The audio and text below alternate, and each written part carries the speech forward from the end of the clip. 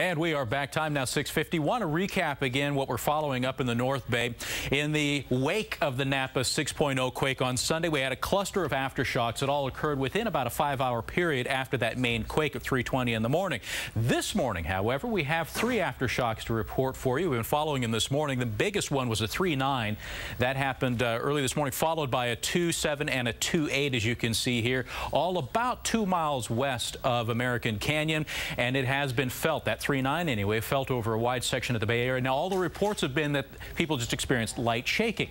So nothing near as severe as what we saw on Sunday, but it was fairly widespread felt anyway. And so we're following that as part of our ongoing coverage, and we'll expect to see the likelihood of more aftershocks here over the course of the next seven days after that earthquake. So Hopefully, with each passing day, the magnitudes of these aftershocks will get smaller and smaller, but we'll have to see what happens.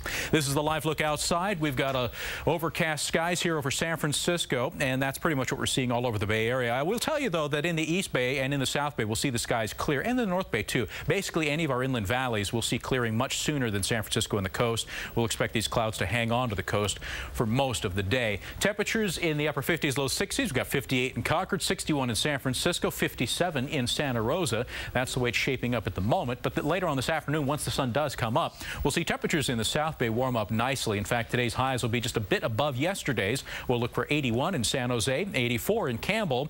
Through the Silicon Valley, Redwood City, Palo Alto, Mountain View, you'll be in the upper 70s. The warmest spot will probably be the Almaden Valley at about 87.